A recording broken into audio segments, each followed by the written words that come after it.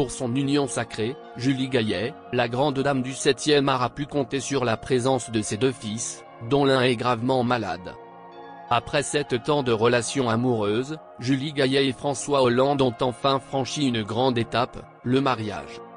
En effet, le couple a uni leur destin à Tulle en Corrèze, ce week-end. Selon la mairie de la région, les tourtereaux se sont mariés dans l'intimité comme le confirme la publication du magazine La Montagne. Effectivement, le maire Bernard Combe a procédé à ce mariage civil de Julie Gaillet et François Hollande. Il s'agit en effet de la première union de l'ancien président de la République. Ce dernier qui est père de quatre enfants issus de sa relation avec son ex-campagne Ségolène Royal. Tout comme son mari, Julie Gaillet a également pu compter sur la présence de ses deux fils, dont l'un est gravement malade, lors de la cérémonie. Bien qu'elle soit discrète sur sa vie privée, la comédienne en a parlé il y a deux ans auprès du Monde. Durant l'entretien, elle avouait que l'un d'eux est atteint d'une maladie grave. Toutefois, elle n'a pas précisé la nature.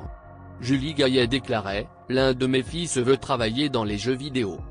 L'autre étudie l'informatique à l'école 42 de Xavier Niel. Tous doivent travailler et étudier en groupe, mais c'est difficile en virtuel.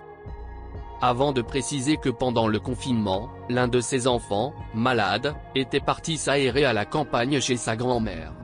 À titre de rappel, Julie Gaillet est maman de deux garçons, prénommés Tadeo et Ezequiel.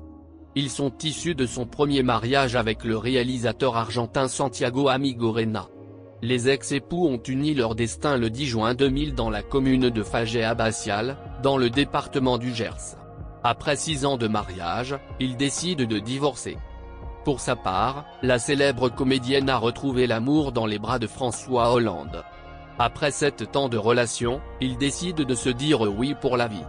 Sur le cliché dévoilé ce mercredi, François Hollande et Julie Gaillet apparaissent assis de dos, face au maire officiant la cérémonie civile. Célébrer un mariage est à chaque fois pour moi un moment unique. J'aime unir celles et ceux qui s'aiment, a commenté Bernard Combe. Samedi 4 juin, ce sont François et Julie qui se sont mariés à Tulle, dans leur ville de cœur. C'est avec infiniment de bonheur et d'émotion que j'ai procédé à leur union. Depuis qu'ils ont acheté une maison sur les hauteurs de Tulle, il y a de ça 4 ans, Julie Gaillet et François Hollande passent une partie de l'année en Corrèze. Le mariage a été annoncé par le journal La Montagne mardi. Peu d'informations ont été données, si ce n'est que le chanteur Benjamin Biolay, ami de la mariée, était de la partie. Il s'agit d'un premier mariage pour François Hollande, qui n'était pas marié à Ségolène Royal, la mère de ses quatre enfants.